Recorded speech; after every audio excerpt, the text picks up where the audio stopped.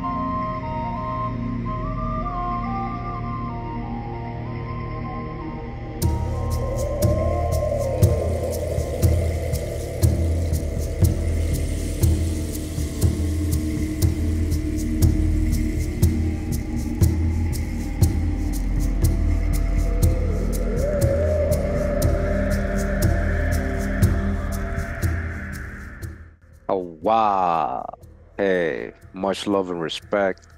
Thanks for tuning in once again. And don't mind me, I'm just in the Hesperides, you already know, to marry the beloved land, the real promised land, the true old world. Before I begin the video today, just wanted to say, you know, thanks to all the supporters, the new subscribers, all the nice comments, I really appreciate it. All my Patreons for holding me up. Anyone who has ever shared any information with me to go ahead and put in videos and investigate further, I really appreciate all the help. Today we're just going to be talking about so-called Lemuria. Where's the true origin of this story? I'm going to show you guys what really influenced the whole story of Lemuria. It was this big archaeological, um, actually many archaeological digs that they did in Mexico. They found some incredible things here. We're going to go over it today. I have done this topic before. Just wanted to add this book. It's like the life story and also the findings of the person who did all these archaeological digs. And then we're going to get into how he influenced somebody to write a, a story about Lemuria. These findings is what made the Lemuria story, you know, famous. But again, these findings were done in Mexico. Uh, let's get right into the video. Hope you guys enjoy it. Again, thanks for uh, tuning in once again. So this is the book we're going to get into today. It's called Buried Cities, Forgotten Gods. William Niven's life of discovery and revolution in Mexico and the American Southwest. So here, uh, this is in the beginning of the book. It has this image right here. This is William Niven. It says here, William Niven surrounded by his archaeological collection. Let me go ahead and zoom in for you guys. It says Mexico City, April 14th, 1918, inscribed on back amongst the idols that I have dug up near Azcapotzalco. This is my selfish pleasure. Whoa, you hear what he's saying? So this is what he found there. All right, all this stuff. And you guys are gonna see how deep this was, where he found this stuff. Okay, we're gonna go over that. All right, so a little closer look. You can see. All right.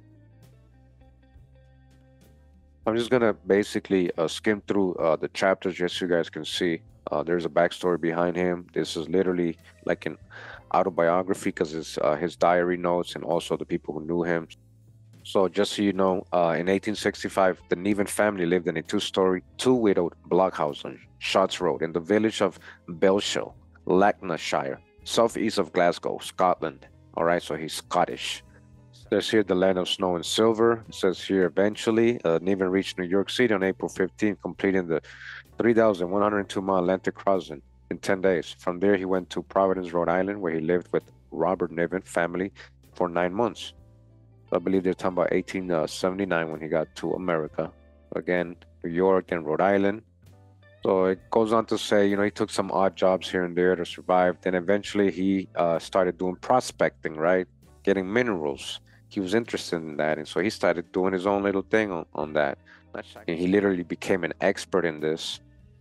So he was going to many uh, mining camps. All right, it says seized by the mining fever. Niven arrived in Las Vegas, New Mexico, in July 1880.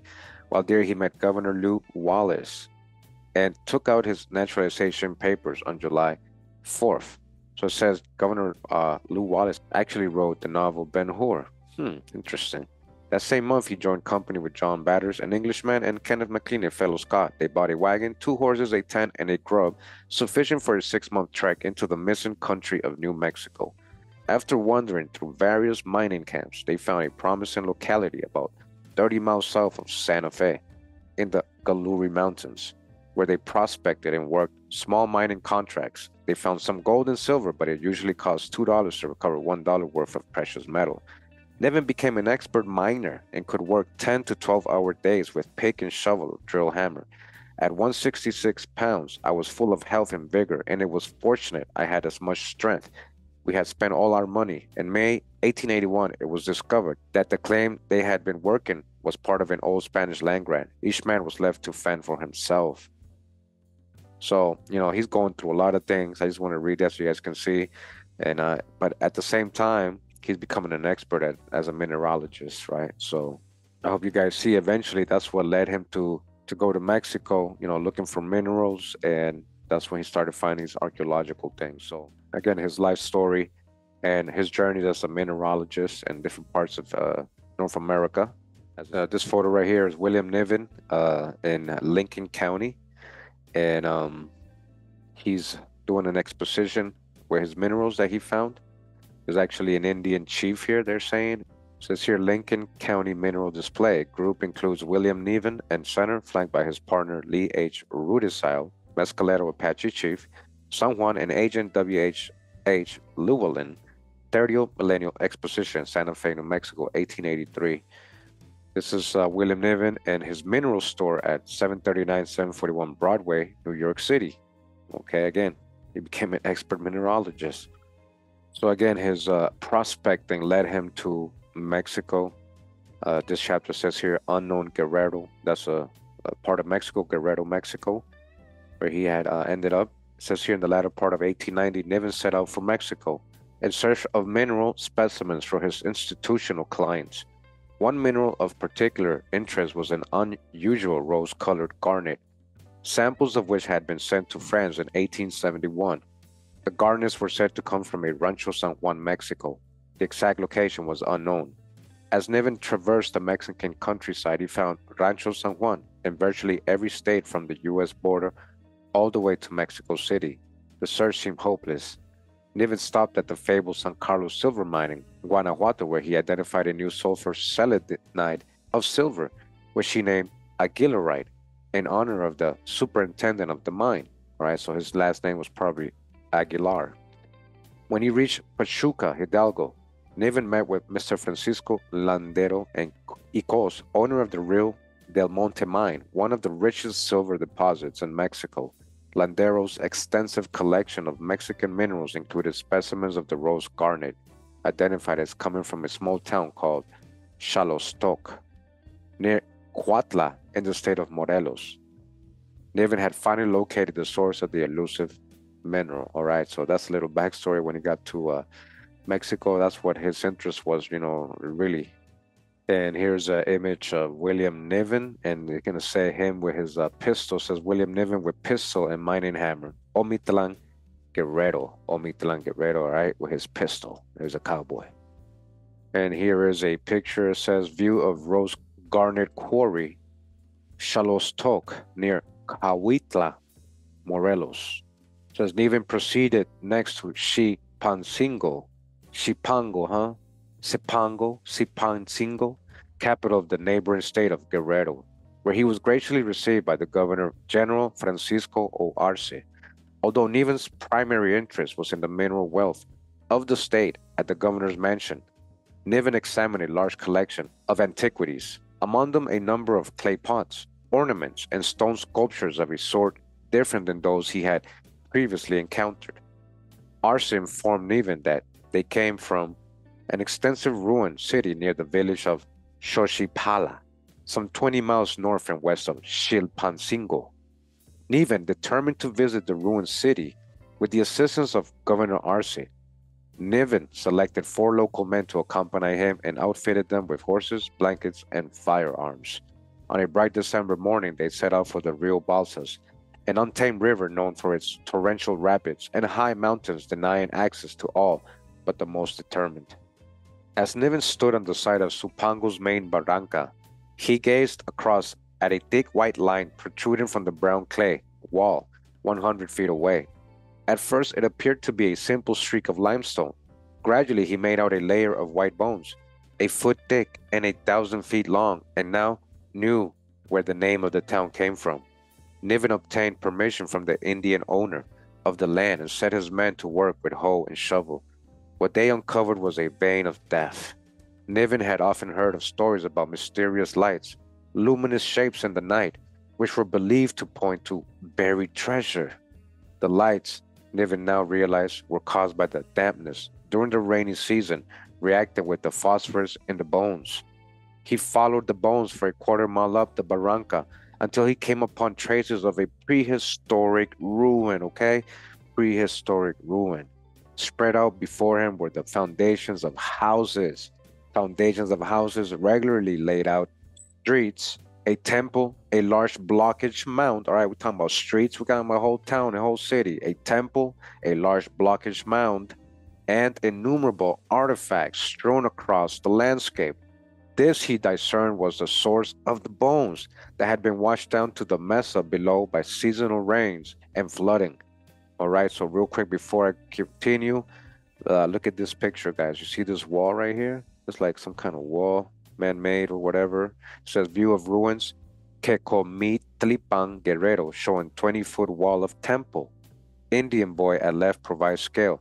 The walls were built directly against the cliff face, a major portion of which has fallen away into the barranca. All right, and here's another image, uh, a ruins, a wall here, or temple, they're saying, says view of ruins, Quechomitlipan, Guerrero, Niven photo 100. The remains of sections of walls composed of roughly shaped stones first alerted William Niven to presence of ruins in a tract to become known as Omitlan. And right here, some more ruins. They're saying they're excavating an altar here that's buried. All right. Oh, this is buried. Excavating altar, Jabalin Guerrero. Here we got another uh, image. Again, this is was all buried. All right, look at that. They excavated all this. It says excavating altar, tools in hole, Jabalin Guerrero. Okay, and more images. Again, more ruins. You see that? Just like what Paul, kind of like what Paul Cook be finding in England and all these other places. Look at that. This is a cool little artifact uh, he found. Check it out and it says seated wrestler with tattoo-like markings on face from chamber under wall at Quechomitlipan, alabaster, three and a half feet high. Present whereabouts unknown. They don't know what happened to it. The sunburst-like markings on the face may indicate royal status. And this is an image right here. Says old man seated next to a stele, ancient stele. Quechomitlipan Guerrero, all right? Look at that with inscription or a drawing or carving. Wow, right in the middle, you know, the jungle and forest session. Niven returned in early April to New York City, where Morris K. Jessup, well-known banker and president of the American Museum of Natural History, purchased a Guerrero jade sculpture for the museum. Alerted to the prospect of further significant finds from the region, Jessup agreed to defray the expenses of a journey through Guerrero the following year. In May of 1892, Niven was made an honorary life member of the museum. So you see that? So they financed him, the American uh, Museum, National Museum, they financed him. It was like, yeah, hey, you know, go bring us all those artifacts. And then they made him an honorary member. Great enthusiasm was also felt for the garnet find in Morelos. Samples were cut into the columns and sections and polished. Upon analysis, the stone was found to be composed of grossularite, a silicate of lime, and alumina formed in wollastonite, a white limestone, and associated with vesuvianite. the red garnets and the bright yellow of the vesuvianite produced a striking contrast. Hope I ain't killing these words. but all you see, all these are minerals, and now the museum's involved so now there's an actual expedition. This is a picture of, uh, I guess, uh, says American Rose Garnet Company. I believe they had in New York. It says William Niven and sample of rose garnet, New York City. Yeah, that's where it's at. So several carloads of rose garnet were shipped to New York in mid-February 1893, destined for the Columbian Exposition in Chicago, huh? They were received with considerable acclaim. The Mexican trader announced that rose garnet surpassed in beauty the famous Russian rhodonite. This newest production from nature's laboratory is destined to rank in the foremost place amongst the first-class decorative stones of the world. Its commercial success seemed assured. In the summer of 1893, Niven prepared for his second journey to Yerba Buena, armed with his temporary concession from President Porfirio Diaz, a first-class camping outfit, cameras, and 500 photographic plates, an Indian servant, mule tear, three mules, and four pack animals, he started out from Cuautla, Morelos on July 29. So eventually, you know, he's given the rights. Again, he came back from New York ready to go excavate. He went to the uh, last uh, ruins he had found. Uh, says here, after a half day's ride, they reached the ruins, broken walls, ruined buildings, huge in size beyond comprehension, guys. Look, marked the slopes as far as the eye could reach. Once this was a rolling plateau, dropping gently away from the mountain wall but now it is cut into giant ridges by gorges from 200 to 1,000 feet deep, gorges whose sides are scarred with broken buildings.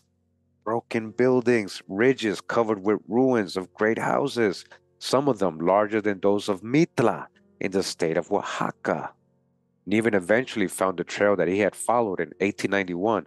For the second time, he surveyed the site. They seemed to me even more wonderful than before. It must have been an immense nation that once dwelt here. And this city or chain of cities, all right, cities or district or feudal estate, as you may wish to call it, must have been fully as large as Babylon or Thebes or Memphis. All right, what are they really finding here? Listen to this. It had to have been as large as Babylon or Thebes or Memphis. What are they really finding here? What if it is the real Babylon or Thebes or Memphis? or other famous cities of antiquity. Its buildings, save those that had been erected on the tops of huge pyramidal bases, were of rather low construction, but so massive as to give the appearance of fortresses rather than homes. All right, fortresses rather than homes. So again, I'm just skipping through this. I just want to read some of the diary notes so you guys can see what he's finding here. We're going to show a lot more. Says here the next morning explorations began in earnest because the site ran on for more than 40 miles. Niven estimated that there were 300 square miles of ruins in the heart of the tract. One promising area at which to begin digging was the interior of a large temple with an altar of solid masonry 15 feet on a side and some 20 feet high. Many such altars were scattered throughout the ruins, and even speculated that they were most likely used for sacrificial purposes. All right, he, he's just adding that conjecture. So many altars, all right, talking about 300 square miles of ruins, guys. What happened to these archaeological sites? What happened? They didn't teach us about this. Some distance beyond this, they came upon an immense wall, which rose 30 feet into the air, more than 200 feet in length the wall was made of 12 by 18 inch carved stone blocks. Listen, guys, all right, laid evenly with a white cement as adhesive. Come on now. Are we just talking about geopolymer? After digging under one side of the wall for nearly a full day, they came upon a large underground chamber with plastered walls. Fragments of timber lay on the floor. In the center of the chamber was a long carved altar of green diorite, the weight of which Niven estimated at several tons, although its sides, ends, and top were curious carvings. Beads, stone knives, small idols, and fragments of larger images were scattered throughout the interior.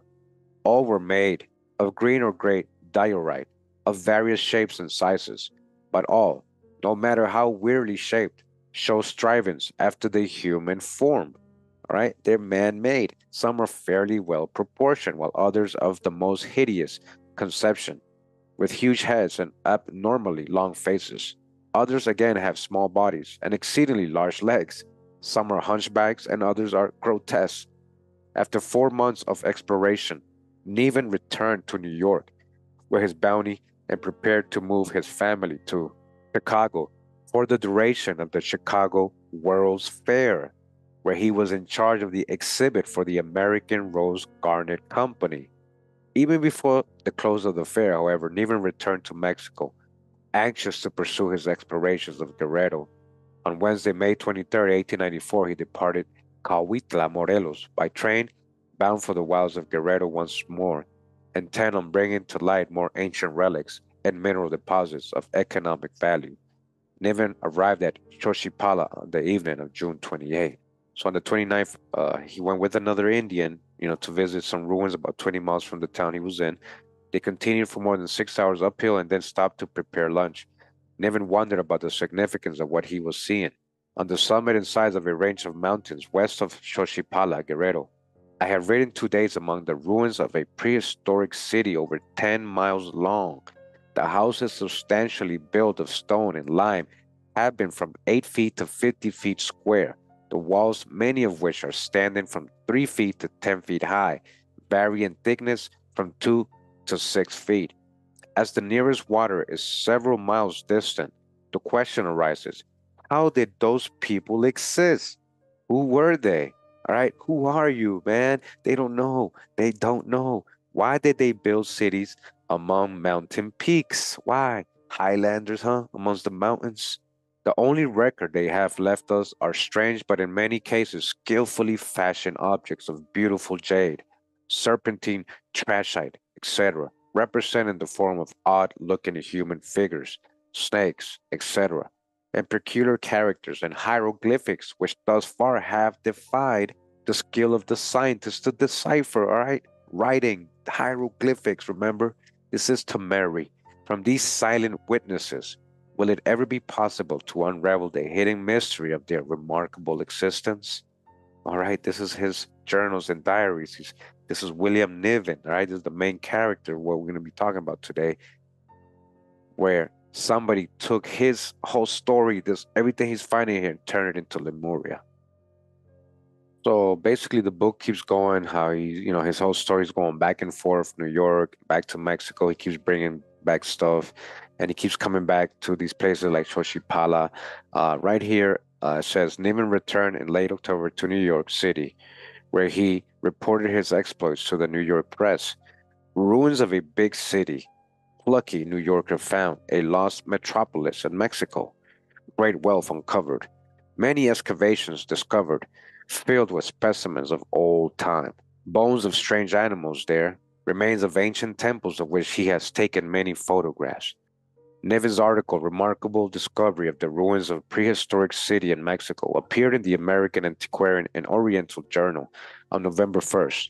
The New York Tribune published something about William Niven, discoverer, by early 1897, the ruins were given a new name, Omitlan, a shortened version of the unwidely Quechomitlipan.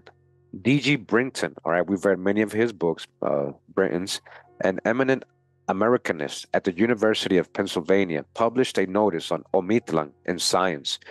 Other journal notices followed. All right, so again, we're just following the story a little bit, all right?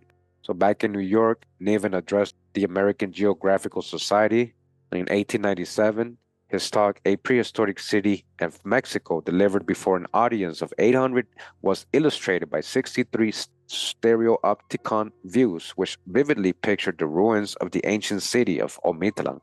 A newspaper article published the following day reported that Mr. Niven feels that he has only begun his work. Here's a picture of William it says here, in the Cave of Skulls and Ecomacho built Guerrero, 1902.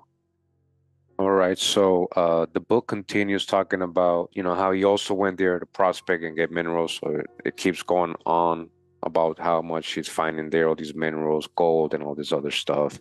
Uh, I found this picture here. I thought it was interesting, just so you guys can again get an idea when we're talking about uh, Indians. The Indian mail carrier with bag G. Niven, Tlacotepec, Guerrero, 1900. All right, so all right, that's him right there, as you guys can see. Here he is colorized, all right, as you guys can see, copper colored tribes of America, so swarthy, all right. So that's what I was saying, break your stereotypes. Yeah. So again, he was not only there, you know, doing the explorations. He was there prospecting, doing a lot of mining. Many, many pages of this book talks about uh, his prospecting there. Nothing to do with the archaeological stuff. Here's some more pictures. I thought this one was very interesting. How see those blocks behind the guy? I mean, did they make that? They don't look like they made those. Those look really big. The description only says miners at work clearing out channel and building site of support for water wheel. All right. I don't think they built those. Those look like some megalithic rocks right next to him. Again, more images of them prospecting. It says here William Niven.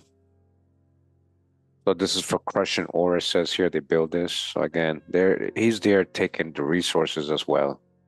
So we belly flop to this uh, chapter or part of the book. Uh, page 141 says Placeres del Oro. So you know, after reading so much, uh, I skipped a lot, but he found so much gold, guys. He was getting so much gold. It was talking about. Uh, but then he, uh, in this chapter, says, while waiting for the boats to be constructed, Niven heard from an old Indian in Cuernavaca about some extraordinary ruins along the Balsas River in the municipality of Coyuca de Catalan. The site was one mile north of Placeres del Oro. When Niven arrived there, he found three great pyramids. Okay, three great pyramids, about 35 to 40 feet in height, arranged along the river. Yearly floods of the Rio del Oro had eaten away at the western shore until nearly one quarter of the pyramids had disappeared into the river. Listen to this, revealing their platform bases made from water worn boulders. Niven pitched camp in the ruins.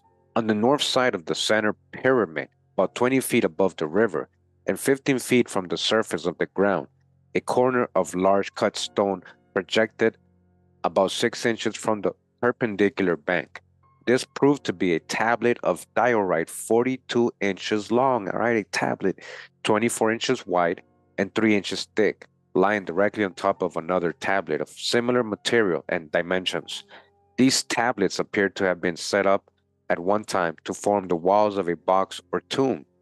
Clinging precariously to the bank of the river Niven began to dig with his small geological pick and uncovered a third stone tablet. This one was slightly smaller than the others, measuring 28 by 18 by 3 inches, the lower side covered with unusual carvings. And here's an image of one of the uh, tablets or slabs or slab B from Placeres del Oro Guerrero. Okay. And here says a view of an incense burner, all right, an incense burner and diorite jade head associated with the tablets. Contents of the incense burner are still intact. The linear treatment of the facial features, as well as the simple decoration of the incense burner, are typical of Mezcala style art from Guerrero. So, underneath or beneath uh, the other tablets, right, they, they saw another tablet lying face down. In the space between two tablets, Niven recovered a gray diorite incense burner and a smaller incense burner filled with teeth on one corner of the burner was a flat green jade amulet on which was carved a human face with perforations for a string at the top of the forehead and tip of the chin.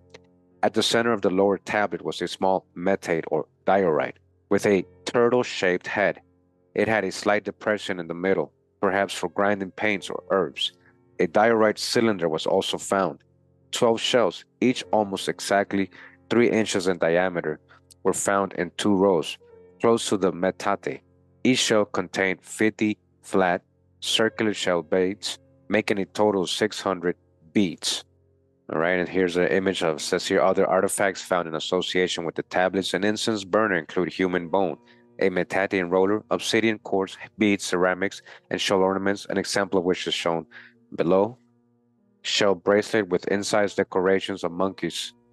And this is another artifact, as you guys can see. Niven recovered considerable quantities of artifacts now identified as Mezcala style throughout the central Balsas region. The beads illustrated here note the linear incision were found at Zumpango del Rio. Continuing further ahead in the book, uh, it says here Azcapotzalco, all right, 1909 and 1912. says here, I go out every Sunday to Azcapotzalco and get many good Indian objects for almost nothing. He says, I get them for free. William Niven, June 5th, 1911.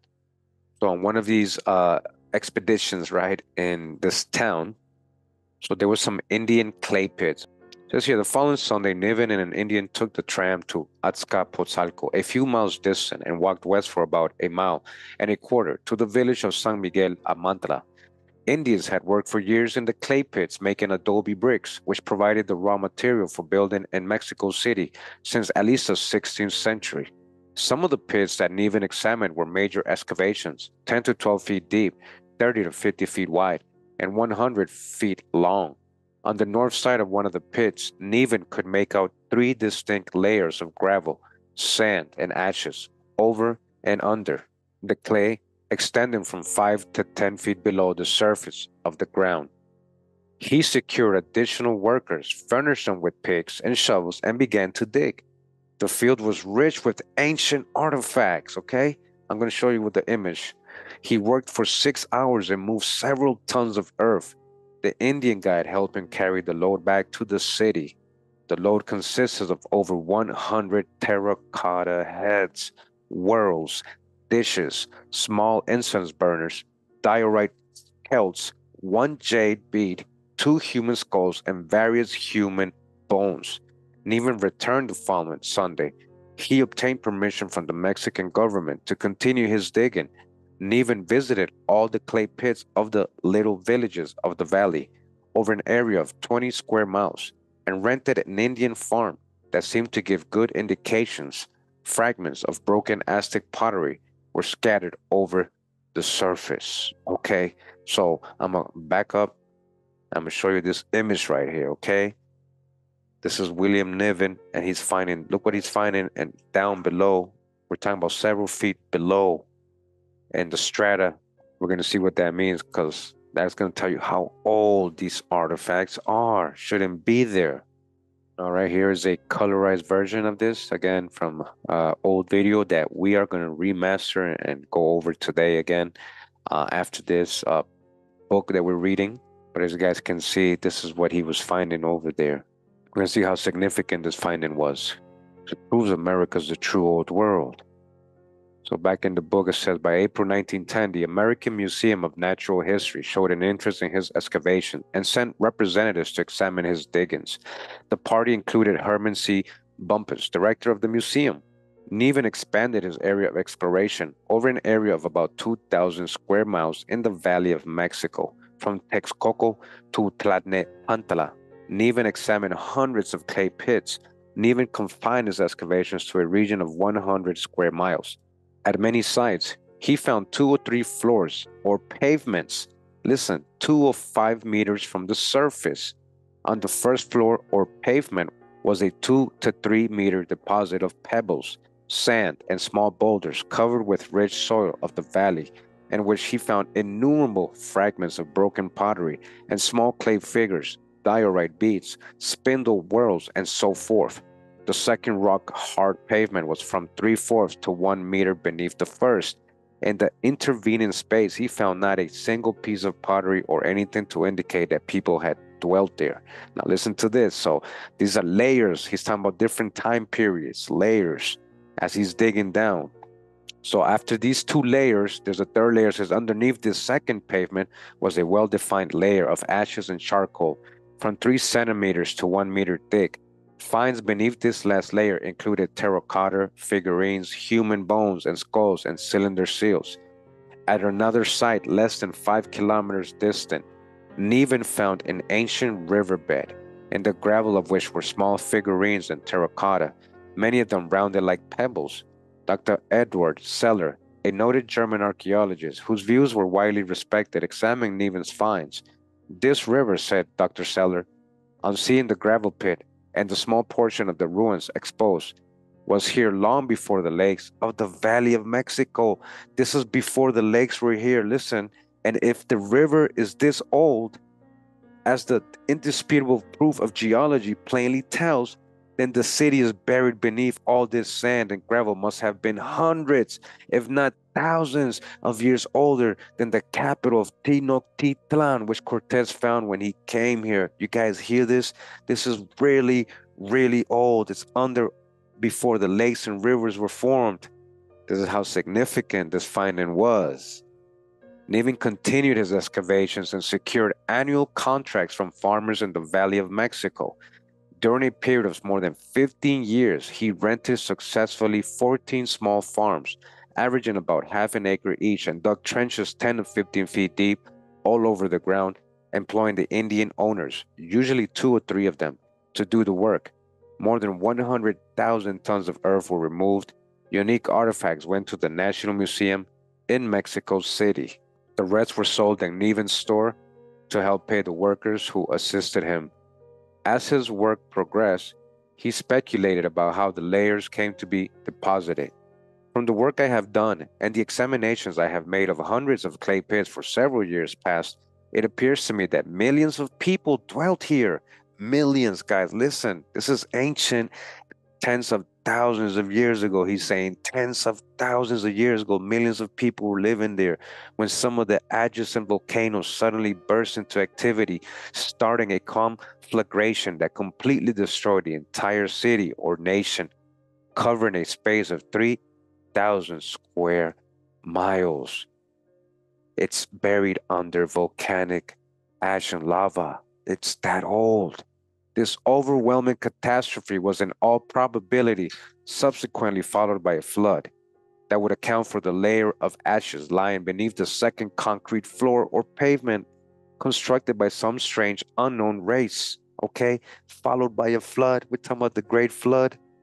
And this same people might also have constructed the first pavement owing to the sinking of the land through some seismic disturbance, which would also explain why there appears to be no objects left between the two floors.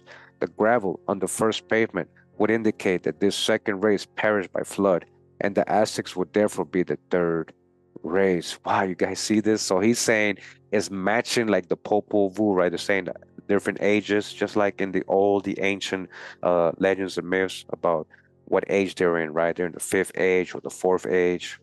The pottery and figures were found at the lowest depths, oftentimes 15 feet from the surface, and it is reasonable to suppose that a people of such culture and such numbers, probably millions, might have had imposing temples and edifices as in southern Mexico. If so, when they are uncovered by future explorations, the ashes that overlie them will perhaps have preserved most of the contents like Pompeii and Herculaneum. In this brief article, I have been unable to give more than a plain statement of facts, okay?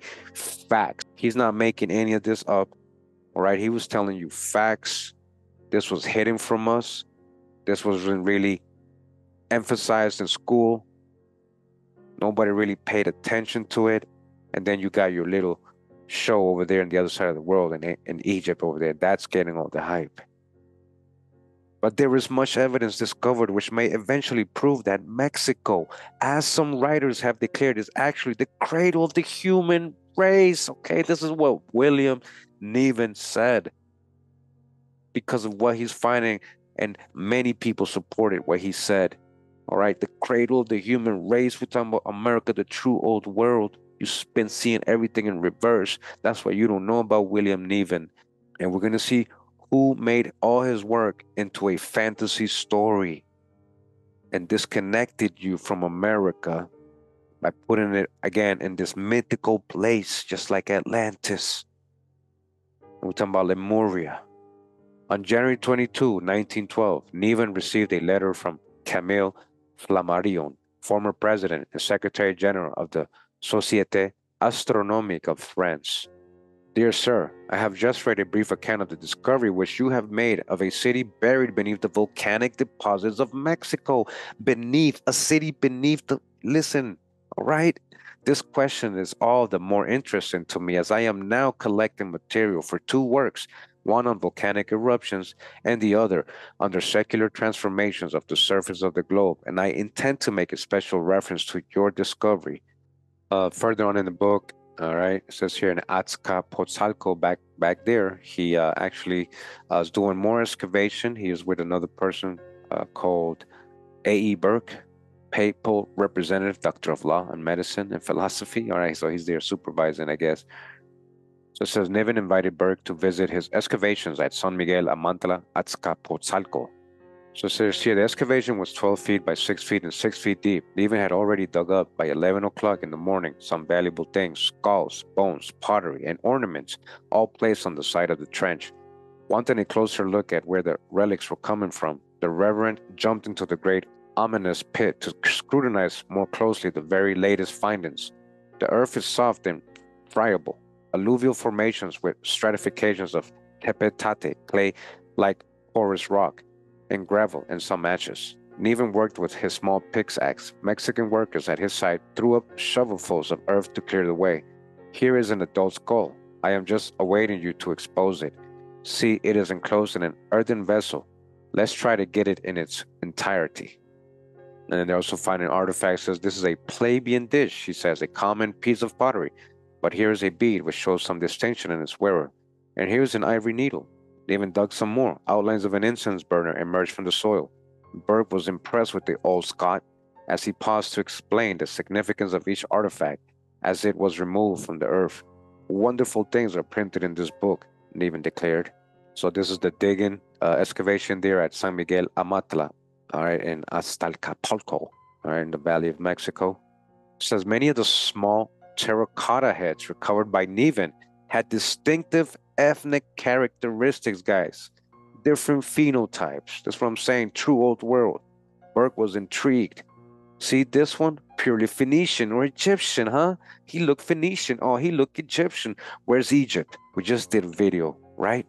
This one, Mongolian or Asian, as they're saying, right? And this one, Ethiopian. What do they mean? So called black? Oh, Ethiopian, huh? They were as anxious to delineate themselves as we are, all right? Listen, guys, I hope you understand what they were finding here and improving. We've shown uh, these potteries, these stoneworks, these statues, these figurines with different phenotypes, uh, and other uh, excavations in Mexico from other authors, from other scientists, archaeologists, art experts, and all that, antiquarians, historians. And now you see in this site here, uh, William Niven is finding the same thing. They all have different phenotypes.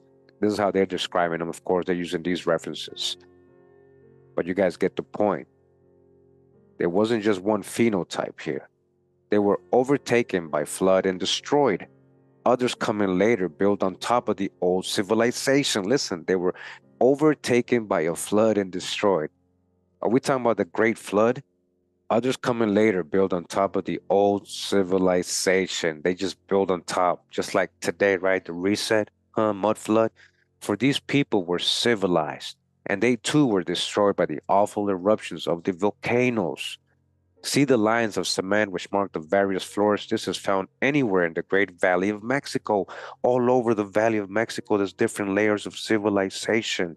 Senor Contino says he had recovered skulls, images, and stone and terracotta incense burners, spindle whorls, bone needles, and jade beads.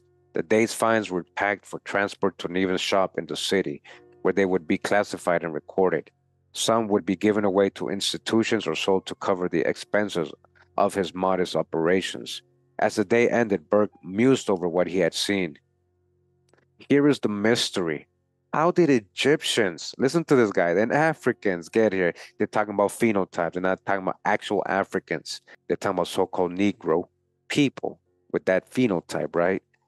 How did they get to Valley of Mexico? They're like, how? How is this possible? If everything started in Africa or Asia, how is this possible? They can't figure it out, guys. But we know this is the true old world. That's why they just couldn't see it. They had to create so many stories and to try to conjecture so many ways instead of just realizing this is the true old world. It says here the Mongolians may have come by the continental coast over the Great Strait of Bering was the lost Atlantis the bridge over which the Ethiopian and the Phoenician came? The Lord only knows. No, Phoenicians were here. This is Atlantis. All right, so this is amazing. This is people saying, this is Burke saying this, right? A different person. From what he's seeing, uh, Niven find. It says Burke passed by three of the Noche Triste as he returned to the city through Tabuca and contemplated the flood of tears that Cortez shed there 400 years earlier after a battle in which the Spaniards were defeated by the Aztecs. The remarkable past being recovered by Niven at Azcapotzalco was a kind of compensation he felt for losses suffered during that great tragedy. All right, so we're gonna get to some uh, images here. So this is what they were saying they were finding. I mean, look at this one. It has a afro, so-called afro. You see that? so they're saying a lot of different phenotypes and what they were finding. Remember, this is underneath layers of volcanic ash, like eruptions. They're saying very ancient, very old. All right, some more examples here. Here's a picture of William Niven uh, seated amongst some of the artifacts, it says. Here's some more uh, figurines, statues they have found, you know. This is all what he's finding. Says three images of Xochipilli, god of flowers, all from San Juanico, Tabuca, Valley of Mexico, Andesite. All right, the god of flowers. A terracotta uh, vase, possible incense burner in form of a warrior, it says. And this one right here is a very popular artifact. I didn't know this was one of his findings. Uh, there is a book on her, something about her being Egyptian, you know, so-called ancient Egyptian. That was really over here. Just read a little. It says stone sculpture of kneeling Chalchiuhtlicue, she of the jade skirt, the Aztec goddess of lakes, streams, and childbirth. And even found large quantities of jade beads, such as those depicted here, throughout the Valley of Mexico. All right, very famous piece right here. Here's another incense burner. Right, we're talking about people having time to create these magnificent incense burners, a civilized man. And this is another great piece right here. Check it out. All right, you see that? Do you remember who you are? Seated terracotta figure of Xochipilli, god of flowers, with yellow coloring the Teotihuacan influence is apparent in the mask-like treatment of the face. The jewelry, especially the tassels on the headdress and knotted neck ornament, is distinctive. All right, very distinctive, meaning unique, ancient. This is what he found under layers, very old, from an ancient, ancient age. All right, some more uh, artifacts, figurines, statues uh, recovered by William Niven in his excavations here in Mexico. As, as you guys can see, very interesting. It says here Representative Tech Paneca figurines recovered by Niven in 1918 1919 and published by Ramon Mena in Great Archaeological Discovery. Wow, look at this. It says here a little further ahead inscribed tablets and partition skulls 1921 1924. During October 1921, Niven was digging at Santiago Ahuizotla a hamlet contiguous to San Miguel Amantla.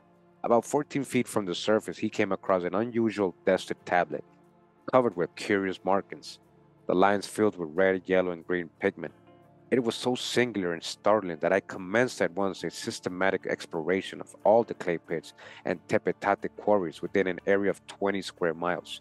Soon he discovered more of the tablets. They ranged in height from a few inches to nearly 30 inches. The finds fell into two categories.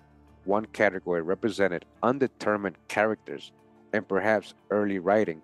The other possess recognizable features, such as human heads, animal figures, birds, reptiles, insects, and plants, crosses, swastikas, solar signs, temple plants, land divisions, and labyrinths or mazes. Word of the discovery soon spread in June 1923. Archaeologists Sylvanus Morley, Frans Blom, and Thomas Gann of the Carnegie Institute in Washington, D.C. visited Niven's shop on San Juan de Letran Street. Morley, who had studied under Professor Putnam at Harvard University, was noted for his work on Maya epigraphy.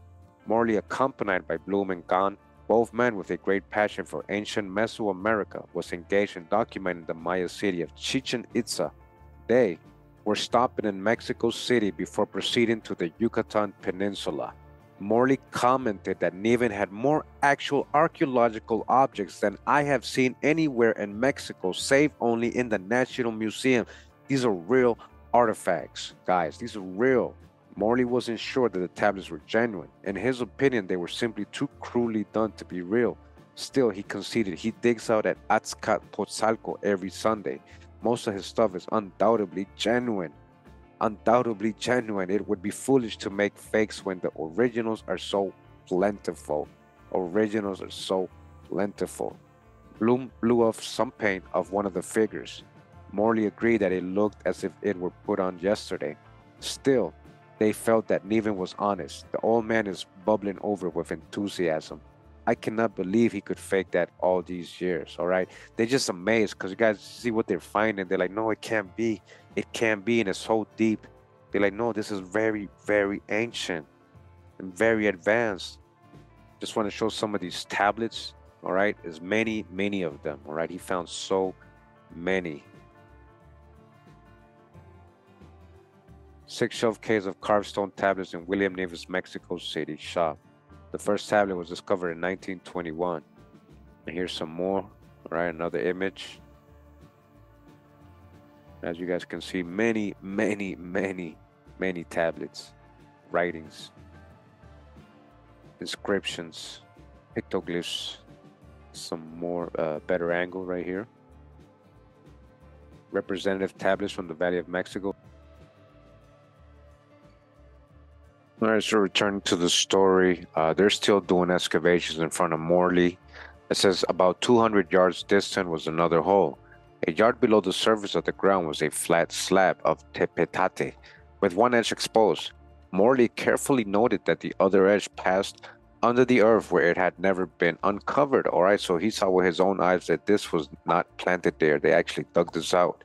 The piece exposed was at least nine feet long and a half as wide and its face had been covered with newspapers to protect it against the moisture.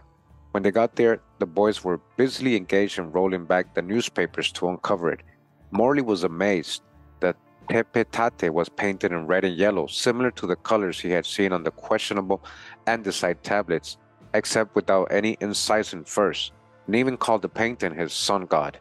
The complete figure, counting its headdress, was perhaps six or seven feet high.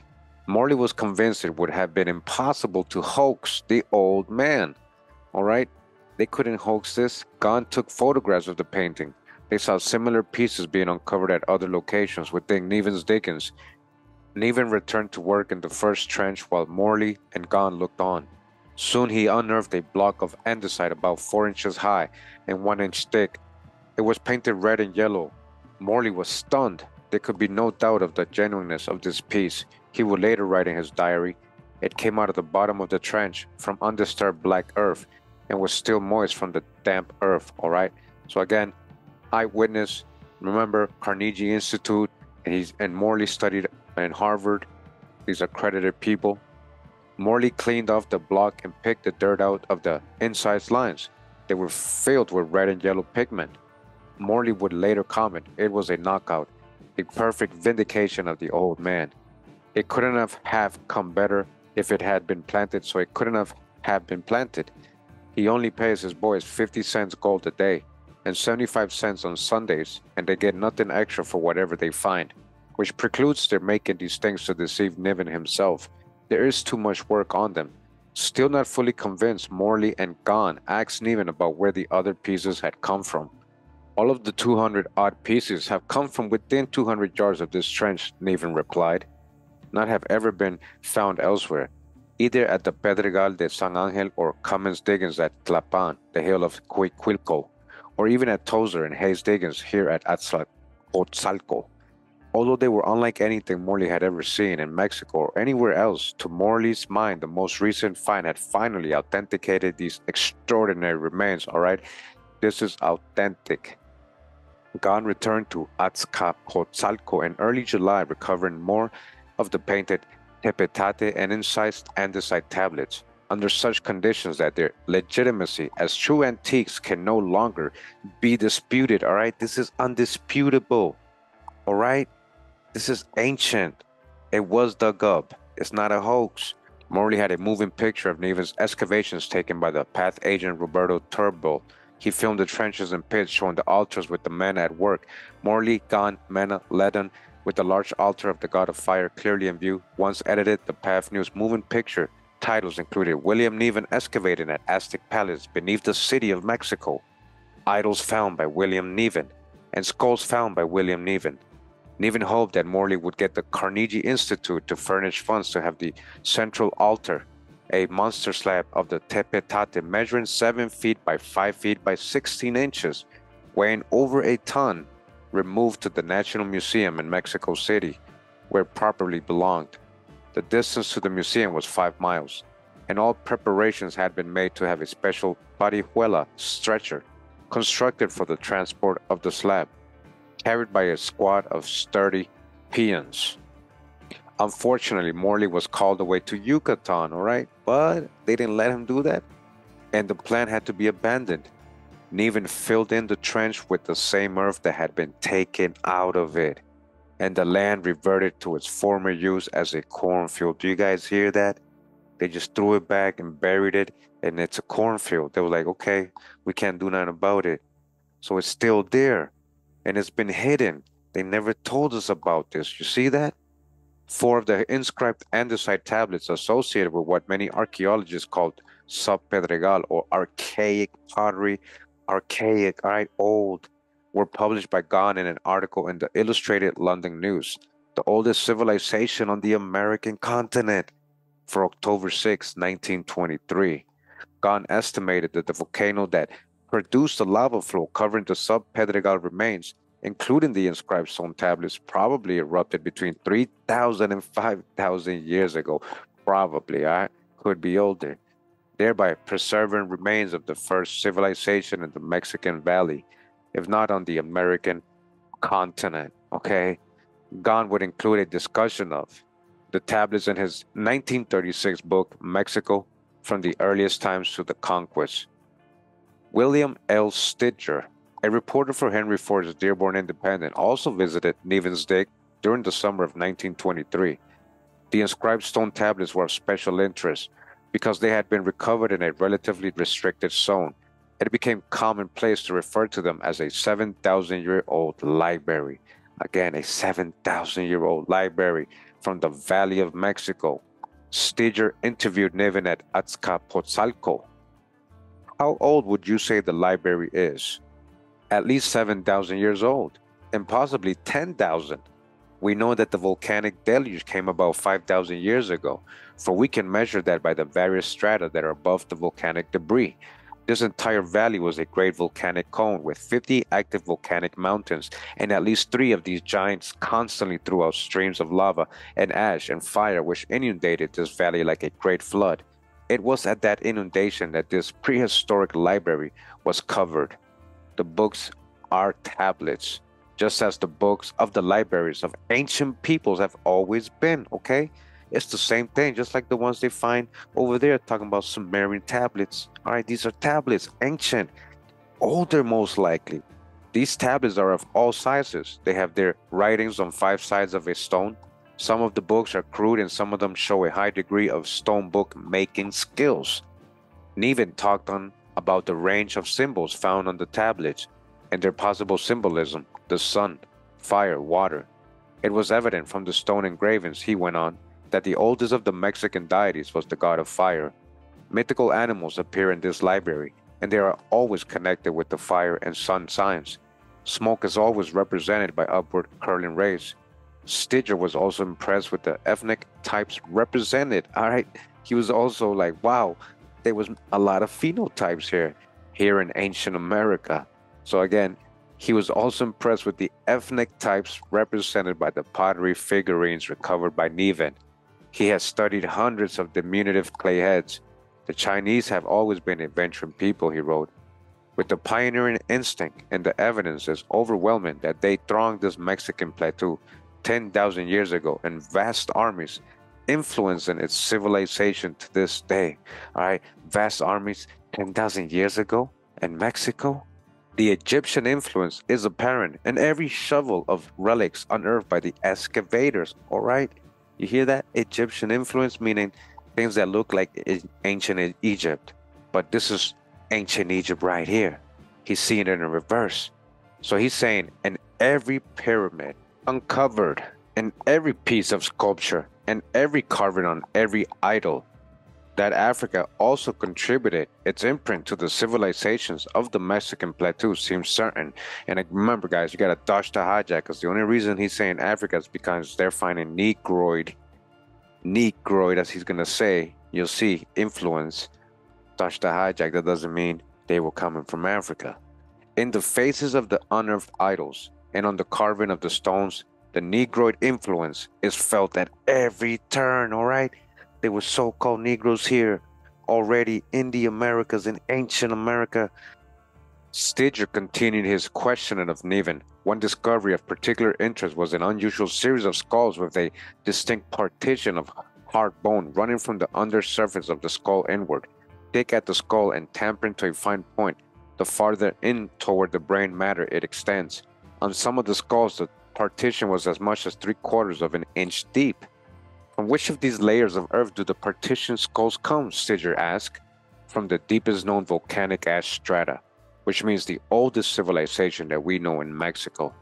And even explained that he had shown the partition skulls to Dr. L.H. Dudley Buxton, a professor of human anatomy at Oxford University, one of the foremost experts on prehistoric skulls in the world. All right, this guy is famous. Buxton hadn't seen anything like them elsewhere. And you see what he said? They're unique. They're unique. They're not like the other prehistoric bones you've seen. How many of these have you unearthed? Several hundred. And we're finding them every day.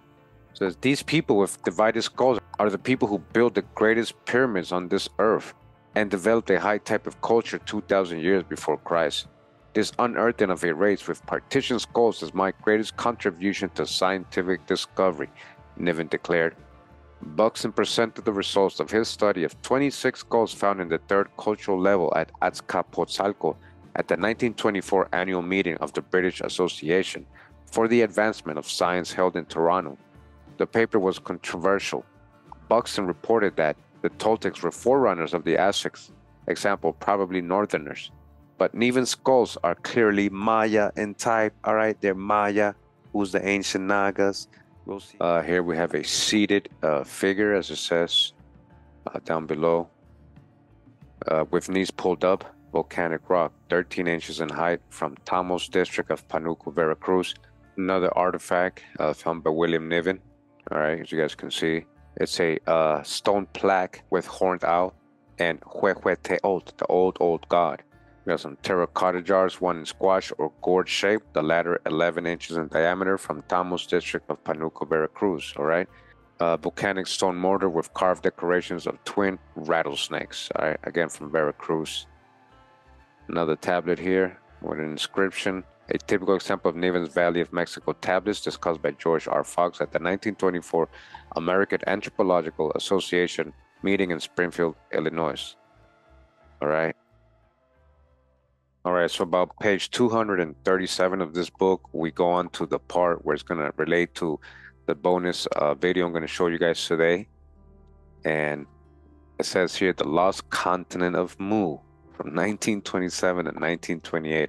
All right, how does this all relate? A lot of you guys know who James uh, is. If not, we're going to uh, learn today says here in August, George Collinson, a longtime friend and fellow American expatriate who had lived a number of years in Mexico, wrote Niven from New York City. He had just seen a very remarkable book, The Lost Continent of Mu. Listen, The Lost Continent of Mu, like Queen Mu, right? By Colonel James Churchward. The book contained a chapter on Niven's buried cities, with a good deal of praise for the important tablets he had excavated. Collinson wondered if Niven had Churchward's address. Niven responded to Collinson's letter on the 13th. He didn't know Churchward or his work. All right. So this is something very important. I want to emphasize, you guys. Uh, William Niven found out that this guy, James Churchward, the guy who wrote the famous story of Lemuria about the snake people, Nagas, and all that, the lost continent of, of Mu, we're going to see later on what book we're going to read from that book. He found out he had written this book and included his findings and everything without even asking him. He didn't even know him. I haven't seen Lost Continent of Mu, and if you will kindly send me the publisher's name, I will write for a copy. Since moving to Tampico, he hadn't excavated in the Valley of Mexico due to government restrictions. Still, he had over 15,000 Valley of Mexico objects in the Niven Museum in Tampico, including more than 2,000 of the stone tablets. Collinson visited the publishers on Fifth Avenue, New York City, purchased a copy of The Lost Continent of Mu, and sent it to Niven in Tampico. He also forwarded Churchward's Mount Vernon, New York address. These were received in early September. Niven was optimistic yet cautious. I have already looked over it for a couple of hours with much pleasure. Niven wrote to Collison upon receipt of the Churchward book. The scientists may not accept many of his theories, but it ought to have a wide circulation amongst archaeologists in general, who will find it most interesting. The chapter on Niven's Mexican buried cities appears through the great courtesy and kindness of the Dearborn Independent, Dearborn Mitch, Henry Ford's paper, notwithstanding many inaccuracies, will help to of my buried cities of Mexico. Even though it has inaccuracies, he's letting you know this is William Niven when I'm able to have it published. So he was like, you know, I think it's good publicity for me, even though it has many inaccuracies. So Niven and uh, was writing back and forth to Church uh, Churchward and say, hey, I read your book. Thanks for including me. All this stuff, right? But Niven was warning people. Says here, Niven suggested caution and accepting Churchward's theories without reserve. All right, a lot of theories James Churchward added to that, made it into like a whole fantasy, disconnecting you from America. His wonderful imagination and the accumulation of evidence from any source to prove his pet belief in the destruction of Mu, his pet belief, all right, and his reckless extravagance in computing dates must make the judicious grief Niven put in notwithstanding some of my friends think that he may have paved the way for the correct deciphering of my carved tablets. Fox was touched by Niven's dedication to the task.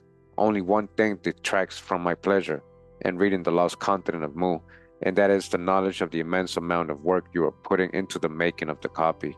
Not only the written material of the book, but the illustrations as well. This is the ideal way to read a book. Have a certain number of pages come to you each day I am reading the book slowly and with understanding. At first, Fox was little impressed.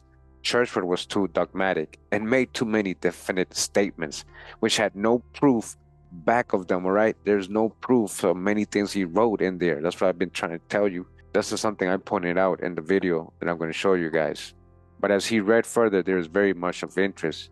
It is interesting, though, right? That's why people liked it. Niven agreed with Collison that it was great luck to have come across a man like Churchward Churchward had first gone to India over 50 years before during a famine to assist in relief efforts. While there, he discovered a dozen ancient tablets covered with glyphs. With the assistance of some high priests, in two years, Churchward succeeded in deciphering the tablets. The symbols referred to a lost continent in the Pacific Ocean called Mu. All right, this is deep right here, guys. Think about that. So you're in Asia, right? And they're talking about from people in ancient Asia saying, hey, there's a continent in the Pacific Ocean, this lost continent, this land called Mu. Well, if you're in Asia and you go on the Pacific and you keep going east, you're eventually going to end up where? In the Americas, all right? In the Americas, so called Mu. Churchward then dedicated much of the next 50 years of his life to exploring the islands of the Pacific, Central America, and Mexico, searching for clues to the existence of the lost continent. Because the Nakal tablets of Burma and India were similar to Niven's Valley of Mexico finds, they were similar. Niven felt that it may neutralize the cruel prejudices against me by the American Museum of Natural History. He used that to legitimize himself because he had some wild theories, guys. In early 1928, Churchward gave a radio talk, Prehistoric America, on WNYC in New York City. Among other topics, Churchward discussed William Niven and his important discoveries in the Valley of Mexico. The publicity was encouraging, so Niven sent Churchward an additional 200 drawings and some photographs for possible inclusion in his forthcoming colonies of Mu. All right, so you see, even William Niven is, you know, helping him create uh, his book because he's like, hey, uh, he, this guy's giving me publicity. He's the only one really paying attention to me. He's look at he's doing interviews in New York and the radio they're kind of using each other. But I want to start pointing out right away, guys, these archaeological finds in Mexico is legitimizing James Churchward's Lemuria theory. But this is in Mexico. You're going to see that that's the only thing he has.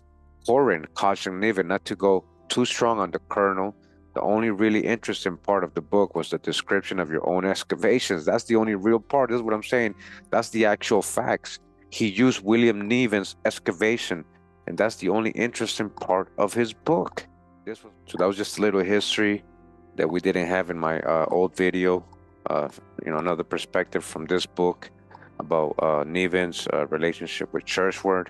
But literally, Churchward kind of used William Niven's uh, dig to make himself rich and famous and, and spread his theories more in his book It says here, uh, way ahead in the book, Legacy, like this is at the end of the book. It says here, if Niven is remembered today, it is usually through his inadvertent association with James Churchward. Niven's book about his explorations in Mexico never saw the light of day. By way of contrast, by February 1946, Churchward's Lost Continent of Mu had gone through 14 printings. All right, he made his money, but William uh, Niven, who actually did all the work, he didn't even print his book. With the burgeoning occultist movement of the late 1960s, occultist Churchward's entire Mu series was reissued in paperback form. All right, so he even made more money in the 60s because of the occultists. There was even a spurious volume about Niven's excavations, Mu Revealed by Tony Earll, an anagram for Not Really, published in the same series. Yet there was much more to William Niven than the problematic Valley of Mexico tablets promoted by the eccentric Churchward. Certainly, it should be emphasized that scholars need to go beyond Churchward's pronouncements, okay? So basically, James Churchward kind of made his findings seem like it was a little fake because he wasn't a very credited person and he was giving wild theories in his Lemuria book. So they're telling you right here it should be emphasized that scholars need to go beyond Churchward's pronouncements about the tablets and examine Niven's own collection of 2,600 rubbings of tablets from the Valley of Mexico, all right, 2,600 with complete site and stratigraphic information, which deserves fuller attention that it has received to date, all right. James Churchward actually messed up the image and he used William Niven and he created this whole fantasy story about Lemuria. We're gonna I'm gonna show you.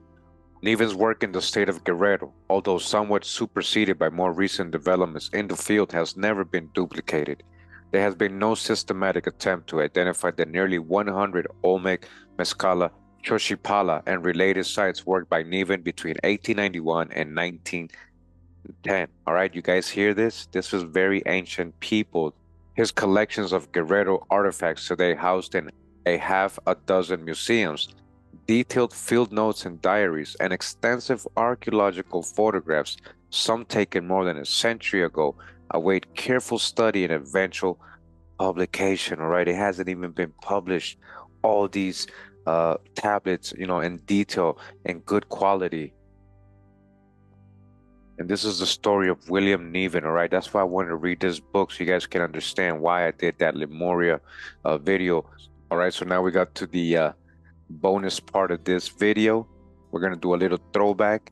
We're going to go over this remastered uh, version of this video right here. As you see, Lemuria in Mexico, William Niven's Lost Discovery, 50,000 years old civilization, Nagas, Nakal, all right? So let's see what this is about. Again, this is an older video this is before I had this book we read today. So now we're just going to combine it. Hope you guys enjoyed this uh, bonus video. It's about another 40 minutes. And you're going to see how James Churchward just totally used uh, William Niven to make himself famous. And you're going to see that he literally used all his work to create his Lemuria book from things they found in Mexico, all right? In Mexico, in the Americas. Yes, the Americas has a Pacific. We are on the Pacific, yes. All right, so let's get to it. Let's go ahead and watch the video. For called Queen Mu and the Egyptian Sphinx. This is written by Augustus Le Plongeon, MD. He did some archaeological work there in the Yucatan. Very, um, very scholarly. Actually, he did a lot of research. He has a lot of sources in his book. Again, this was written in 1896. Just want to go ahead and read sign here. We're going to continue in this book. In the appendix are presented for the first time in modern ages the cosmogonic notions of the ancient Mayas, rediscovered by me. They will be found identical with those of the other civilized nations of antiquity. In them are embodied many of the secret doctrines communicated in their initiations to the adepts in India, Chaldea, Egypt, and Samothracia. The origin of the worship of the cross. Okay, again, future video. I'm going to show you where the cross originated. And he just correlated with it. And I didn't know he was going to correlate with that. But again, the origin of the worship of the cross or a commemorance or what the cross was, right? Not a worship of that of the tree or the tree of life and of the serpent, the Khan's plum serpent introduced in India by the Nagas. Who? The Nagas? This was introduced in India by the Nagas who raised such a magnificent temple in Cambodia. The Nagas raised a temple in Cambodia. Who are these Nagas? In the city of Angkor Thom, to their god, the seven headed serpent, the Akshapat of the Mayas. The same god of the Mayas, which is called Akshapat. And afterward carried its worship to Akkad and to Babylon. So, what? We're talking about the Nagas? Who was these Nagas? They had brought this serpent knowledge from America, right, to Cambodia, from there to Akkad and to Babylon. So we see in a reverse direction. In these cosmogonic notions, we also find the reason why the number 10 was held most sacred by all civilized nations of antiquity, and why the Mayas, who in their scheme of numeration adopted the decimal system, did not reckon by tens but by fives and twenties, and why they used the 20 millionth part of half the meridian as standard of lineal measures.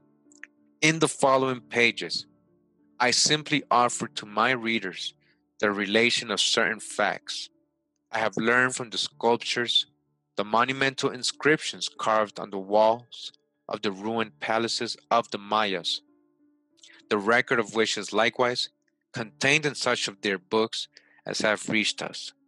I venture only such explanations as will make clear their identity with the conceptions on the same subjects of the wise men of India Chaldea, Egypt, and Greece. All right? I do not ask my readers to accept a priori of my own conclusions, but to follow the sound advice contained in the Indian saying quoted at the beginning of this preface. All right? Verify by experience what you have learned. Then only then form your own opinion. All right, so we continue in the book The Lost Continent of Mu by Colonel James Churchward, 1931. And I'm in page 113, wanted to read this part to you. More correlation to what we're, you know, learning. It says, Now I shall try to fix an appropriate date of the Naga colony in India before it became a colonial empire. All right, so a colony. One prominent figure in the Naga or Maya Empire in India. So this Naga Empire is really the Maya Empire in India. It's a colony of the Mayas. So it says that one prominent figure of this Naga or Maya Empire in India was Prince Maya. Yes, Prince Maya. They had a prince. His name was Maya. The time of Prince Maya is doubtful, although I have come across many records about him. Not a single one even estimates the day when he lived. But according to traditions, and these traditions are as plentiful as leaves on a tree, Prince Maya lived 15,000 to 20,000 years ago. In Ramayana or in the Ramayana, all right, that's a book, an ancient Hindu book of poems or stories or something like that. All right, we find this reference to him. In olden times, there was a prince of the Nagas whose name was Maya of the Serpent Kings of the Nagas. Who's the Serpent Kings again? The Mayas, right? His name was Maya. Prince Maya was the author of the Surya Siddhanta, the hoariest treatise on astronomy in India. Its age has been variously estimated at from 10,000 to 22,000 years. At the time of Prince Maya, the Nagas were an empire. When the handle and shovel of this knife were made, the Nagas were a colony antedating the empire. That they were only a colony is clearly shown by the suns without rays on the horizon. This proves the extreme antiquity of the handle and the sheep. All right and this is what they're talking about this knife and handle the naga hindu knife they call it. It is not known when the naga empire ended but they're saying that this is very old before their empire was established when they were just colonists coming from america. So what is the Ramayana? Says the Ramayana is an ancient Indian epic composed sometime in the 5th century BC about the exile and then return of Rama, prince of Ajodhya. All right, so we're in ancient history encyclopedia. All right. It was composed in Sanskrit by the sage Valmiki. All right, so this was written by this guy named Valmiki, who's known as famous sage. All right, the Ramayana. Valmiki was a great sage and author of the Ramayana. Says Maharshi Valmiki, the author of the great Indian epic Ramayana, was a Hindu sage who lived around the beginning of the first millennium BC. He is referred to as the Adi Kavi, the original creator of the Hindu sloka, a verse form in which most of the great epics such as the Ramayana, the Mahabharata, Puranas, and other works are composed. All right, he started that. All right, so I just wanted to read this book over here. And we're in the book here. It's called Garden of the Elder Gods by Don Shom or Shkom. All right, and just reading right here. There's an overview of such regional centers will commence within Asia, where one of the early academies was evidently located in ancient Burma, modern day Myanmar. According to the Indian historian Valmiki, all right, here we go, Valmiki, right? An Indian historian who's a real sage, a real historian. All right, Burma was the first settlement in Asia, with some records supposedly dating its cultural start around 33,000 BC. All right, they can go that back. All right, according to them, right? Records from other diverse cultures state that the extensive instruction was dispensed throughout Burma prior to its dispersal into other lands. Such graduates eventually migrated eastward into China and southeastward into Thailand and Cambodia, as well as westward into an uninhabited part of northwest India. All right, so they're going to tell us who they're talking about. And they're talking about these graduates. It says in those areas, human graduates and a few helpers that accompanied them taught human natives they encountered. Those regional teachers became known as the Nagas. All right, the Nagas. Certain ancient tablets found in Burma have been directly linked with Naga records found within India. Writings by Valmiki expressly stated, now listen to what Valmiki said, the author of the Ramayana.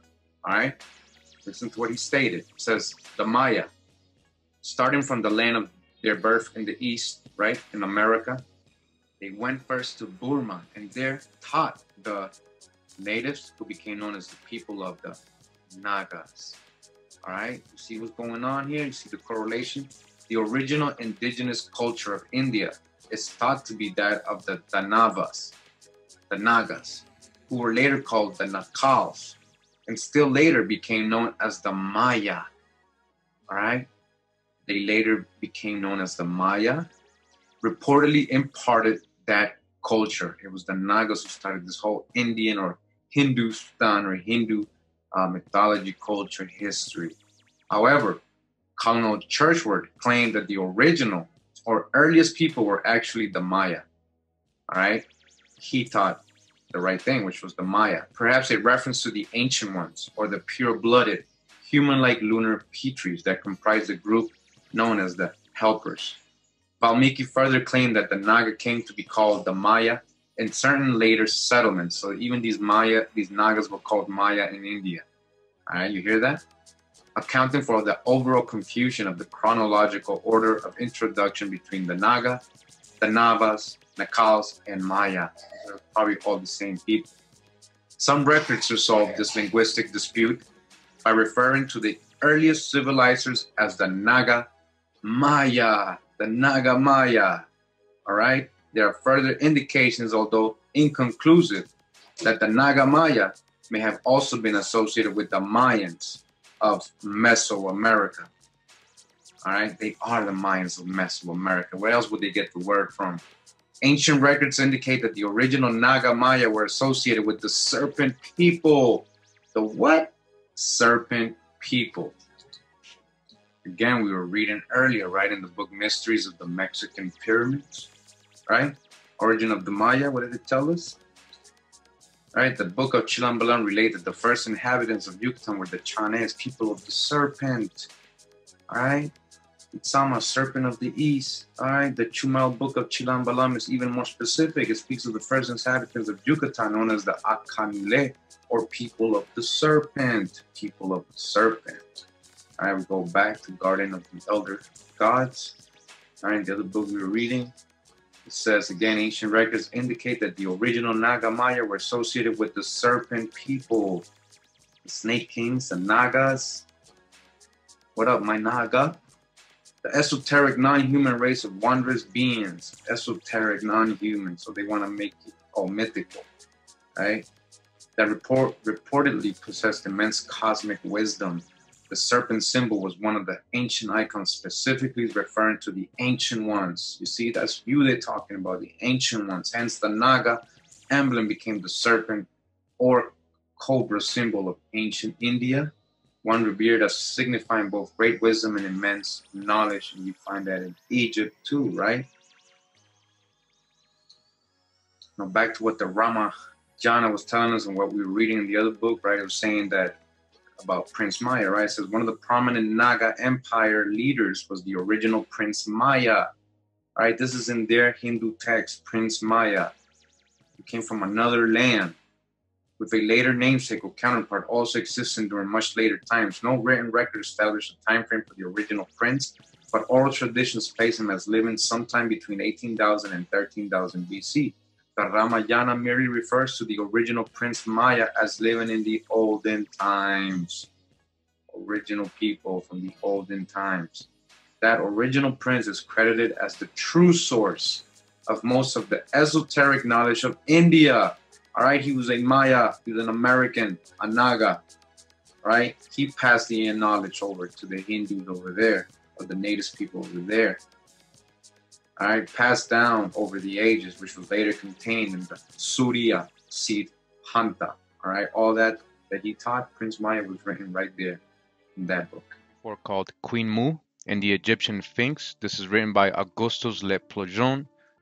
Perhaps also will be felt the necessity of recovering the libraries of the Maya sages, hidden about the beginning of the Christian era, to save them from destruction at the hands of the devastating hordes that invaded their country in those times, and to learn from their contents the wisdom of those ancient philosophers, of which that preserved in the books of the Brahmins is but the reflection.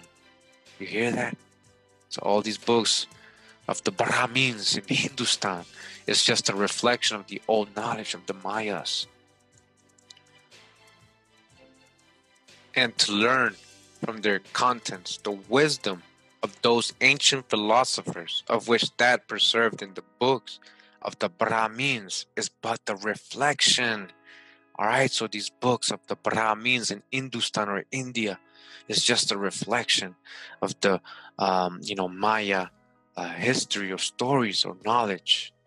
All right, that wisdom was no doubt brought to India. Again, that wisdom was no doubt, no doubt brought to India and from there carried to Babylon and Egypt. So it went from America to India and his, you know, based on what he's reading to Babylon and Egypt.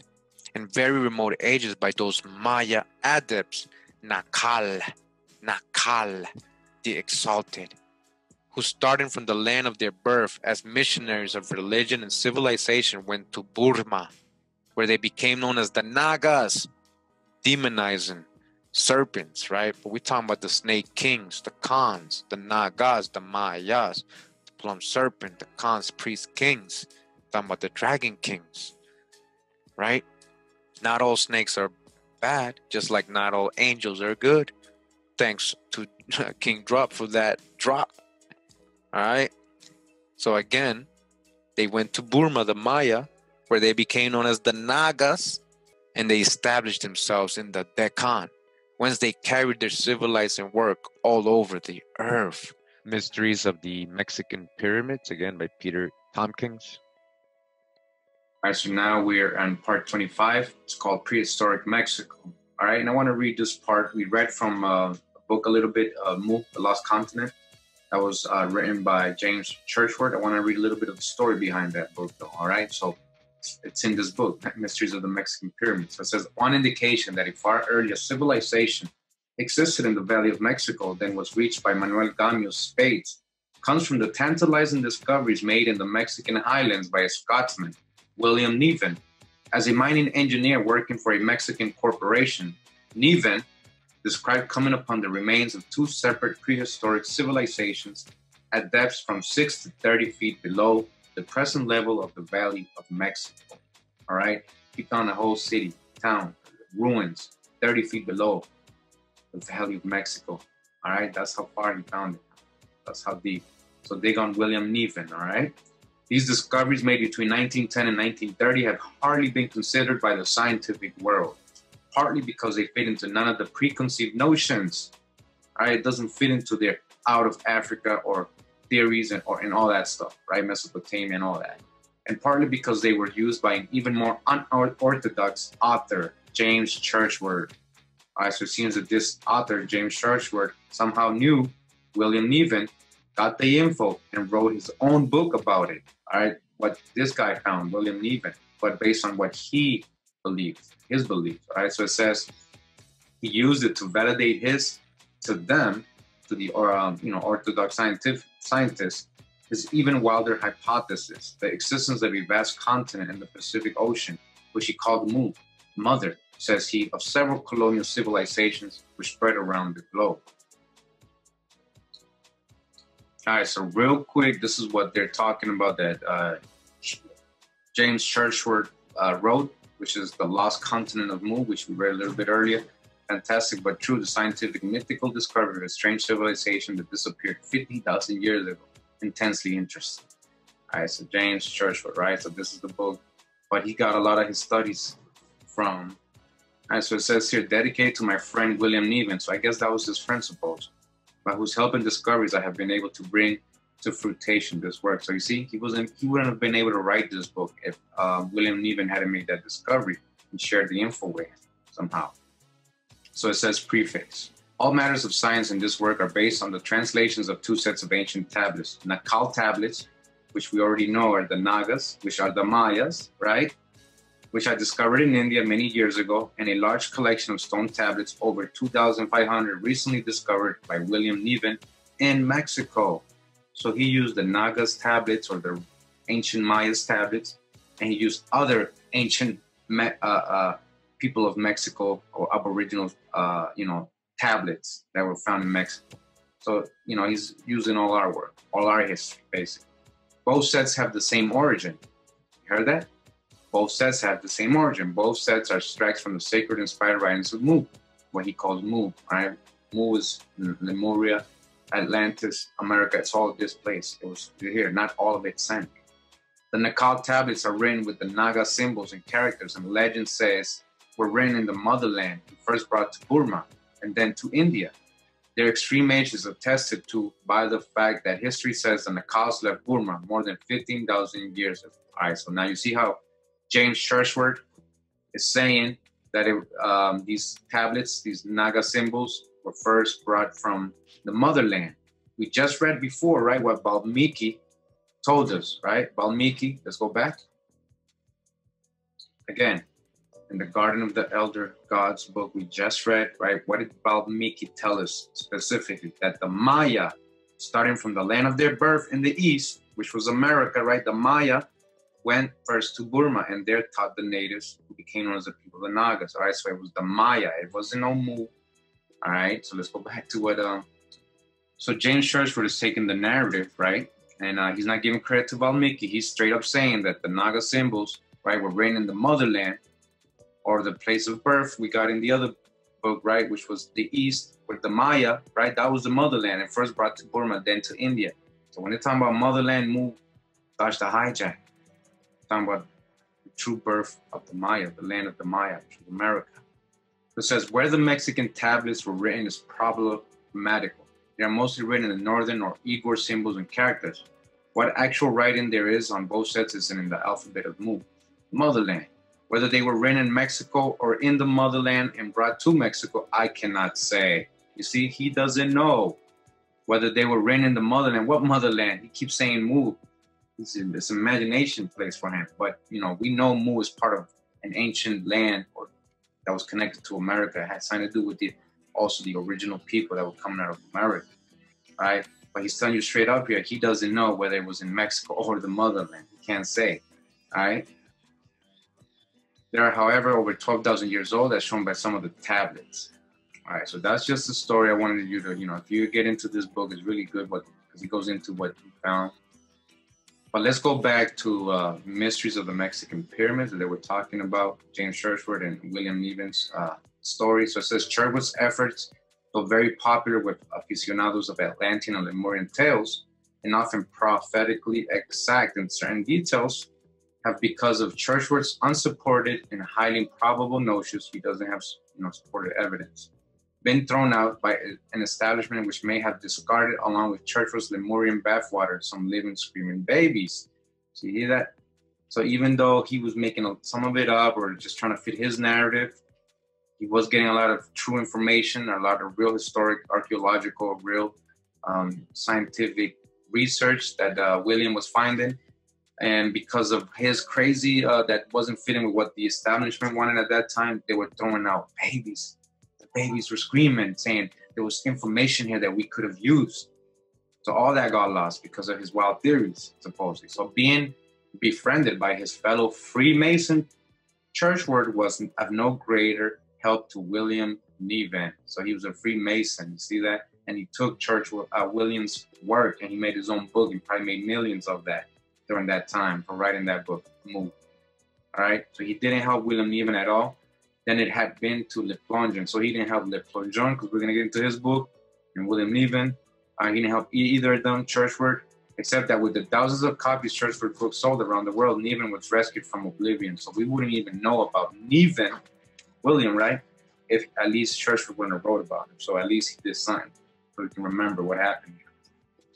When he died in 1937, his obit in the American Historical Review listed him merely as a professor who had been engaged for several years in mineralogical research, an honorary life member of the American Museum of Natural History, and various other such scientific societies who had become involved in Mexican archaeology, nothing more. Nothing to indicate he might have made the most controversial archaeological discovery of the Western world. All right, so his work, what he found in 1910s, 1930s, William Niven in Mexico, which um, James Churchward took and made a book called Mu, The Lost Continent, even though this stuff was found in Mexico. I want you to understand that. All right. His work is not known. He's not known in, in our textbooks. We don't know nothing about this guy. All right. It was on purpose. He found something very controversial. Actually, Niven had been exploring in Mexico since 1889 while digging among the ancient ruined cities in the unknown and uninhabited portion of the state of Guerrero, southwest of Mexico City in, in the Acapulco area. He began to receive periodic visits from local Indians who came to him with terracotta figurines and other objects for sale. Though the Indians pretended to have found these objects at the Pyramid of the Sun and Moon at San Juan Teotihuacan, Niven realized that the source of the artifacts must be nearer. With a bribe of five pesos, which is two, two and a half dollars at that time, he managed to discover the actual spot between Texcoco and Huajuepantla, hamlets just north of Mexico City. He became across he came across hundreds, if not thousands, of pits dug into the sand, clay, and tepetate, used for material by builders of Mexico City for more than 300 years. Exploring these pits, which Niven says cover an area of about 10 by 20 miles in the northwest corner of the Valley of Mexico, he came across vast layers of what appeared to be very ancient ruins, whole prehistoric cities lying as deep as 30 feet below the plain, which appeared to have been overwhelmed by a series of cataclysmic tidal waves. Right, you hear what what's going on here? They found what he found. He found ruins buried 30 feet below the ground. Obvious something happened there, right? Cataclysm. Right perhaps at several thousand year intervals, which, as Niven described them, had left telltale strata of boulders, sand, and pebbles by their depth beneath the surface. and even estimated the oldest remains might go as far back as 50,000 years. All right. Now remember, in the past videos and the other parts of this series, we got Graham Hancock telling us they've been hiding 100,000 years of history here in America. There's proof of 100,000 years of occupation in the Amazon. All right, so what do we, you know, what's going on here, right? What are we really finding out? This is the true old world, right? Look at everything that they've hidden from us. Four to six feet below the first pavement, even says he encountered a second concrete floor. But in the intervening space, failed to find a single piece of pottery or other trace to indicate that humans had once lived here. Beneath the second pavement, he describes coming upon what he considered the great find of many, many years' work in Mexican archaeology. Niven discerned beneath a well defined layer of ashes from two to three feet thick, analyzed as being of volcanic origin, traces of innumerable buildings, large but regular in size, the remains of a vast city which appeared uniformly at the same level throughout more than a hundred clay pits. In one of the houses, most of which were crushed and ruined, filled with ashes and debris, he says he found an arched wooden door which had turned to stone. The walls of his of this house were bound together with, with white cement, harder than stone itself. In one uncrushed room, about 30 feet square, full of volcanic ash, with a flat roof of concrete and stone, Niven says, he came across many artifacts and human bones, which crumbled to the touch like a slaked lime. According to his detailed report, a complete goldsmith's outfit was still on the floor with some 200 models of figures and idols modeled in clay turned to stone, each model thickly coated with iron oxide, bright and yellow, presumably there to prevent the molten metals adhering to the patterns while in the casting pot. Niven says the ornaments were unlike any found in Palenque or Mitla or anywhere between. The work was fine, beautifully polished, demonstrating an advanced degree of civilization. On the walls, Niven found paintings in red, blue, yellow, green, and black, which he says compared favorably with the best he had seen from Greek, Etruscan, or Egyptian works of a similar sort. The ground color of the wall was a pale blue, six inches down from the 14 foot ceiling. A frieze painted in dark red and black ran around the room, glazed with some native wax, which had perfectly preserved the color and pattern, which depicted the life of some person, apparently a shepherd from birth to death. Continuing the book, it says then in 1921, that we're still talking about William Niven and his uh, discovery there in Mexico. In the course of excavations at Santiago Ahuizotla, a hamlet contiguous to Amantla, about five miles northwest of Mexico City, Niven came across a discovery so startling he says it opened up for him a whole new field of archaeological research. At a depth of 12 feet, Niven described coming across the first of a series of stone tablets with very unusual pictographs, systematically exploring other clay pits and tepetate quarries within an area of 20 square miles he claimed he was able to unearth during the course of the next two years 975 more tablets. In the end, he says he found more than 2,600, though there was nothing in these tablets by which he could determine their exact or even approximate age, and even deduced from the depth of which they were buried and the accumulation of debris on top of them that they were over 12,000 years old and more likely closer to 50,000 years old. I just want to show you, all right, this the picture of these tab uh, artifacts that he found, tablets, all right. He found so many. Says Niven showcase number six containing a portion of his collection of carved stones from the Valley of Mexico. When William Niven died in August, uh, Austin, Texas in 1937, the New York Times described him as a distinguished mineralogist and archaeologist who had discovered buried prehistoric cities beneath the Valley of Mexico. He was also noted as the discoverer of four new minerals, including yttrialite, torogon, and nivenite. According to the Times, Niven donated to the Mexican government the best of the relics he found in Mexico, keeping for himself some which he sold to finance further archaeological expeditions. With what was later, with what was left over, there were enough pieces to establish in Mexico City a private museum of 30,000 exhibits. You hear this? How come we don't know about this? All right. All right, so I just wanted to go back to an illustration that was here in the book that I didn't show you guys. So I guess this is the uh, the depth of what he found, the ruins, the buried city. All right, so it tells you. I guess this will be the top, right? The land level. And then it says here one foot of earth. And then right here it says nine feet of boulders, gravel, sand, drogues, pottery.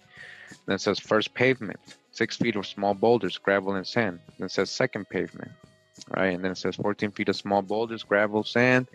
Then right here it says volcanic ashes. And then it says buried city, the third pavement. Niven's Mexican buried cities, now 7,000 feet above level of sea. Mountains 5,000 feet higher, intervening. In the several strata clearly revealed by the pits, Niven says he found traces of what he describes as three well-preserved concrete floors or pavements of at depths from about 6 to 25 feet. Above the first pavement, there was a deposit of small boulders, pebbles, and sands covered with a foot-thick coating of rich valley soil. Everywhere in the first layer of debris, Niven found fragments of broken pottery, small clay figures, diorite beads, spears and arrowheads, spindle whorls, and other artifacts, mostly broken. All right, so this is the death. You see how deep he found this? This was buried under a cataclysm. All right. All right, and we're back in the book just real quick. You know, The Lost Continent of Mu by James Churchward. Just a little closing statement from him. So again, James Churchward, he said he found some tablets called the Nakal tablets in India right? Which we know that the Nakals are just the Nagas, which are the Mayas, right? And also he used the tablets that William Niven found, right, in his uh, uh, discovery here in Mexico, right? So it says the Nakal tablets, which I came across in the Orient, were only fragments of the various subjects with, with many missing links. The Mexican tablets not only confirm the Nakal, but supply many of the missing links. Wow, the Mexican tablets helped them supply the missing links. I spent many years proving as far as possible by experimentation that the facts set forth in these tablets were true. I spent over 50 years in investigation, research, and explorations to prove out what I found written on these in intensely intensely interesting Nakal tablets. I have yet to find the first one that is wrong. The Mexican, like the Nakal, indu indubitably establishes to my own satisfaction that at one time the earth had an incalculably ancient civilization which was in many respects superior to our own, and far in advance of us in some important essentials which the modern world is just beginning to have cognizance of. These tablets with other ancient records bear witness to the amazing fact that the civilizations of India, Babylonia, Persia, Egypt, and Yucatan were but the dying embers of the first great civilization. The Oriental Nakal tablets, which formed the foundation of the first edition of this book, were a wonderful history of past man. Niven's Mexican stone tablets are equally wonderful and instructive, if not more so. If not more, it is more so, because they're original.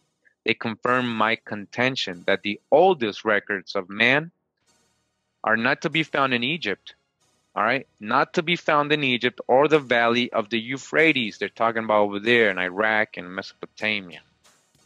But right here in North America. But right here in North America and in the Orient where Mu planted her first colonies. So he's letting you know subliminally, right?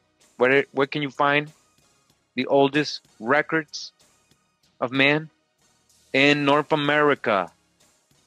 And then he says it was passed on from there to India via Mu, he says. But he's letting you know straight up North America. If you want to study, do real research of the cradle of humans, where we came from, our origin stories, our, our whole history, how we got civilized, you're going to find that here in North America.